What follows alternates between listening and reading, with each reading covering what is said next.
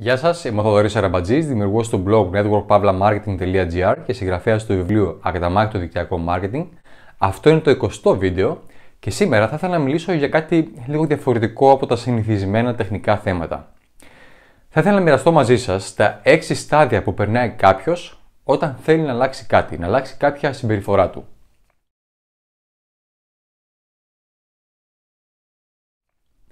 Οπότε, αν νιώθετε ότι ακόμα δεν είστε εκεί που θα θέλετε να είστε, ότι ακόμα κάνετε λίγα πράγματα, ότι δεν προχωρήσετε καθόλου στη δουλειά σας, τότε αυτό το βίντεο θα σας βοηθήσει να κατανοήσετε αρκετά πράγματα και να προχωρήσετε.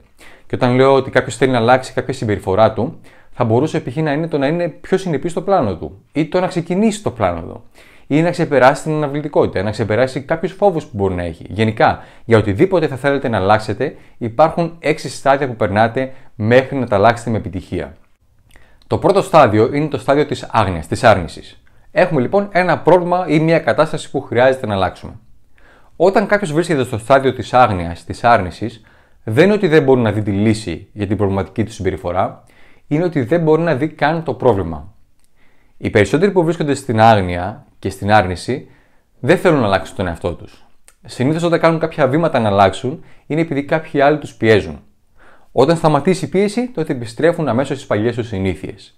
Εν ολίγης, οι άνθρωποι που βρίσκονται σε αυτό το στάδιο αντιστέκονται σε οποιαδήποτε αλλαγή. Φαντάζομαι εσείς που βλέπετε το βίντεο αυτό δεν είστε σε αυτό το στάδιο. Ωστόσο, άνθρωποι με τους οποίους ε, μιλάτε, είτε για τα προϊόντα είτε για την επιχειρηματική σας ευκαιρία, θα βρίσκονται σε αυτό το στάδιο της άγνοιας. Μην απογοητεύεστε και μην αποθαρρύνεστε όταν κάποιος που έχει πραγματικά ανάγκη την ευκαιρία σας είναι εντελώς αρνητικός στο να ακούσει καν την πρότασή σας σημαίνει ότι μπορεί να βρίσκεται στο στάδιο της άγνοιας, της άρνησης. Βέβαια, μπορεί να έρθει σε ένα meeting επειδή τον πιέσατε, ή μπορεί να γραφτεί επειδή ένιωσε ότι πιέζεται από τη σχέση σας μαζί του. Αλλά μόλις σταματήσει αυτή η πίεση, τότε σταματάει και να δουλεύει ή σταματάει να χρησιμοποιεί τα προϊόντα σας. Για να βοηθήσουμε τους ανθρώπους που δεν σκοπεύουν να αλλάξουν, να αλλάξουν, η απάντηση, η λύση είναι στην προσέγγιση. Ακόμα και αυτοί οι άνθρωποι θα προχωρήσουν προς την αλλαγή αν τους δοθούν τα κατάλληλα εργαλεία την κατάλληλη στιγμή. Το δεύτερο στάδιο είναι της αναγνώρισης, της συνειδητοποίησης. Στο στάδιο αυτό, οι άνθρωποι πλέον αναγνωρίζουν ότι έχουν ένα πρόβλημα, μια συμπεριφορά προβληματική και αρχίζουν να σκέφτονται πώς να τη λύσουν. Πολλοί έχουν βρει και πλάνα που θα ακολουθήσουν μέσα στους επόμενους 6 μήνες περίπου. Ωστόσο, ίσω ακόμα να βρίσκονται μακριά από το να δεσμευτούν για δράση. Οι άνθρωποι που βρίσκονται σε αυτό το στάδιο συχνά λένε στον εαυτό τους ότι μια μέρα θα αλλάξω ή μια μέρα θα κόψω το κάπνισμα, μια μέρα θα ξεκινήσω πλάνο, μια μέρα θα αρχίσω να μιλάω σε ανθρώπους, μια μέρα θα ξεκινήσω δίαιτα. Είναι αυτοί που συνεχώς υποκαθιστούν τη δράση με τη σκέψη. Όταν αρχίζουν να μεταβαίνουν στο επόμενο στάδιο που είναι της προετοιμασίας, η σκέψη τους σημαδεύεται από δύο αλλαγές.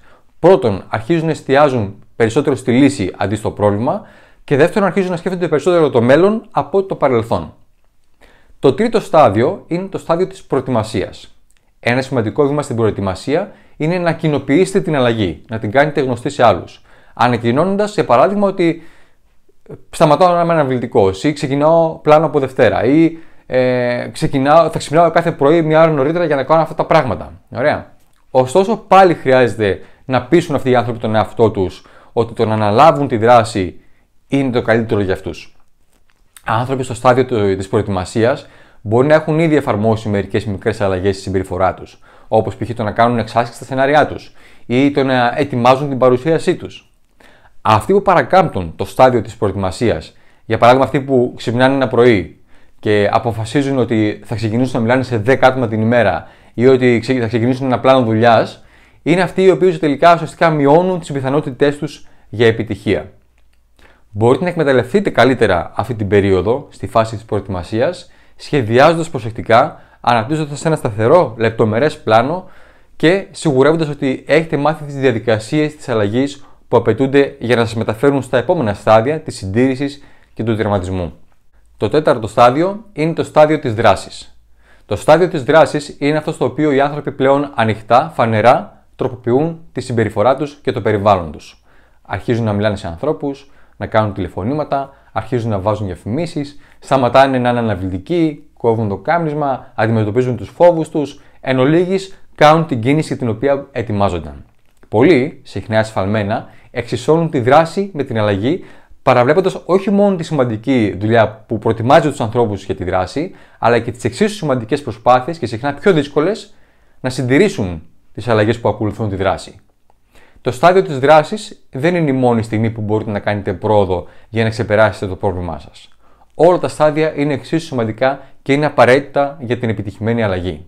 Το πέμπτο στάδιο είναι αυτό της συντήρησης. Η αλλαγή ποτέ δεν τελειώνει με τη δράση. Είναι μια πολύ σημαντική συνέχεια που μπορεί να διαρκέσει από 6 μήνες έως και μία ζωή. Και το έκτο στάδιο είναι το στάδιο του τερματισμού. Εδώ, ο πρώην εθισμός, η αναβλητικότητα, ο φόβος ή οποιαδήποτε προβληματική συμπεριφορά δεν αποτελεί πλέον πειρασμό ή απειλή. Η συμπεριφορά σας δεν θα επιστρέψει ποτέ και θα έχετε απόλυτη σιγουριά ότι μπορείτε να αντιμετωπίσετε χωρίς φόβο ή χωρίς να ξανακυλήσετε στις παλιές σας συνήθειες. Στο στάδιο του τερματισμού, όλο αυτό συμβαίνει χωρίς κάποια δική σας ε, συνεχή προσπάθεια. Δηλαδή, το να δουλεύετε καθημερινά το πλάνο σας με συνέπεια θα είναι κάτι εντελώς φυσικό και δεν θα απαιτεί κάποια ενέργεια, προσπάθεια από τη μεριά σας για να είστε συνεπείς.